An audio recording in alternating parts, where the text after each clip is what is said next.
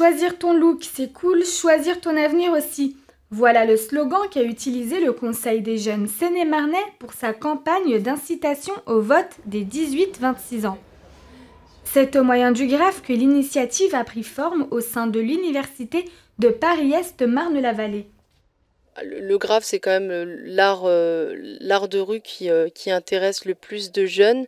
Ça répond à l'objectif justement de sensibiliser les jeunes, car on, connaît, on connaît tous le, fort taux d'abstention aux différentes élections.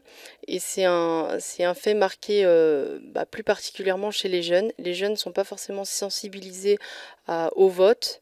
Euh, ne, se sentent pas forcément concernés par, euh, les discussions politiques en France et, euh, et, plus particulièrement là pour les régionales.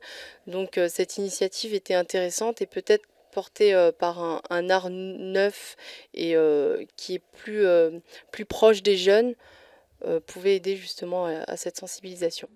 C'est face au constat de l'abstention des jeunes et de leur désintérêt à la politique que le Conseil des jeunes sénémarnais a décidé de faire campagne dans les universités du département.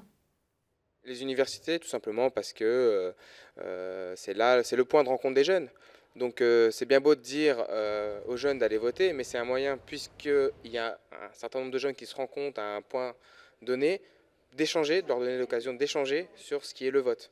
Est née l'idée de faire des graphes au sein des pôles universitaires, donc une forte concentration de jeunes, pour marquer l'idée, pour, si vous voulez, être en décalage avec ce qui se faisait déjà auparavant pour dire allez voter. À travers cette initiative, les jeunes conseillers souhaitent faire comprendre l'impact que le vote peut avoir sur la vie quotidienne.